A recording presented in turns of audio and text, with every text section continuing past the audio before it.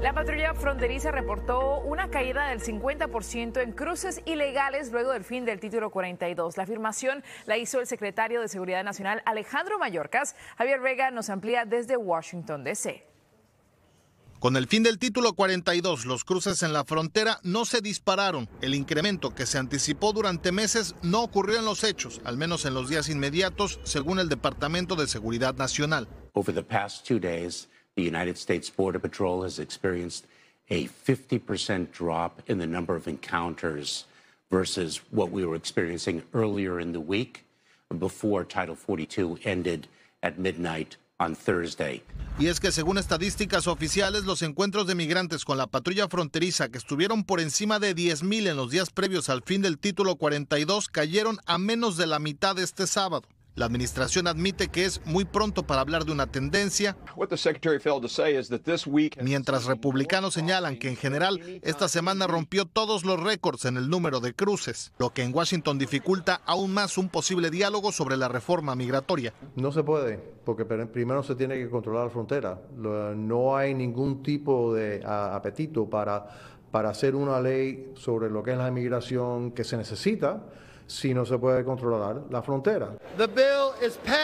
Por ello, con el fin del título 42, esta semana los republicanos en la Cámara de Representantes aprobaron una ley sobre seguridad fronteriza que incluye fondos adicionales y más restricciones para los solicitantes de asilo. Una ley que si bien no tiene futuro en el Senado representa para algunos legisladores, incluso del Partido Demócrata, un punto de partida para nuevas conversaciones bipartidistas sobre inmigración. Espero yo que pueda ser la chispa de una nueva conversación, pero lo que ahora se necesita es asistencia para las comunidades fronterizas, para las ciudades que están recibiendo a los migrantes. Ciudades como McAllen y El Paso, que aunque no están recibiendo el número esperado de migrantes, siguen preparándose ante un eventual sobrecupo en los centros de procesamiento y detención.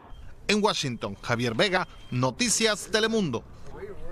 Y en otra información, más de 12 millones de personas se mantienen bajo aviso de calor extremo. Este fin de semana las temperaturas se dispararon a más de 20 grados por encima de lo normal en zonas de Oregón y el estado de Washington, superando cifras récord. Se espera que el calor persista en las próximas horas con temperaturas que superan los 90 grados Fahrenheit. Algunas ciudades han abierto centros de refrigeración para atender a personas sin hogar. Y los demócratas en el Senado están presionando al presidente Biden para para que use la enmienda 14 y poder así elevar el techo de la deuda, argumentando que está en su autoridad constitucional dar el paso y evitar un incumplimiento de obligaciones legales. Creen que Biden no debería aceptar las demandas republicanas de recortes de gastos para elevar el techo de la deuda, extendiendo la capacidad de endeudamiento de la nación, haciendo algo que ningún presidente anterior ha hecho. Y nos vamos ahora hasta México porque la esposa de uno de los detenidos por el incendio de un centro migratorio en Ciudad Juárez cree que su marido es un chivo expiatorio porque ni siquiera estaba en el lugar donde murieron 40 inmigrantes. Valeria León nos tiene más datos. Es el primer medio con el que hablo. Yo no había querido hablar por el mismo miedo, pero ya cuando te está pasando. La desesperación que vive Fernanda Chacón por demostrar la inocencia de su esposo la llevó a contar en exclusiva a Noticias Telemundo lo que ha vivido desde que Daniel Goray fue detenido y acusado por homicidio de la muerte de 40 migrantes en la estación de Ciudad Juárez el 27 de marzo. Todos los cargos que me leyó eran un montón, pero me acuerdo muy claro así que, que era por homicidio. yo, pero ¿cómo si ni siquiera estuviste ahí?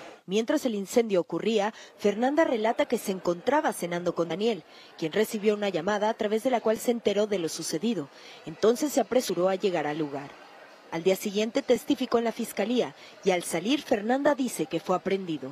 Yo creo que es un chivo expiatorio. ¿En favor de quién? No te sé decir. En contra de quién tampoco te sé decir.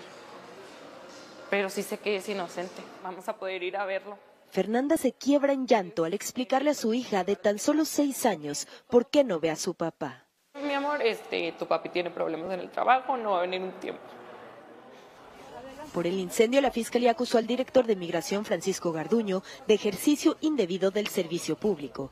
En exclusiva con Noticias Telemundo, su abogado Rodolfo Pérez Velázquez habló de las irregularidades en este caso como el rechazo del video que presentaron como prueba para demostrar que no había condiciones inhumanas dentro de esta estación. Tratamos de incorporar el video a través de un dictamen en criminalística por un perito que nos, nos narrara cómo sucedieron los eventos, que el juez diera cuenta de esto pero nos excluyeron la prueba. En las imágenes obtenidas de los videos de seguridad se observa con las llaves de la celda en la bolsa a Abel Gerardo Huerta, empleado de la empresa privada Tang CAMSA. Noticias Telemundo obtuvo acceso al testimonio de Huerta, donde asegura que dejó las llaves dentro de una oficina y durante el incendio testificó que el humo impidió encontrar la llave en primera instancia. El abogado reveló que Huerta fue llamado como testigo y puesto en libertad.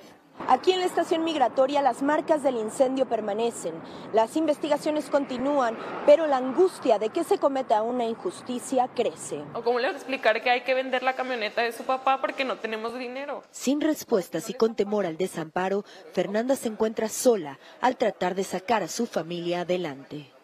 En Ciudad Juárez, México, Valeria León, Noticias Telemundo.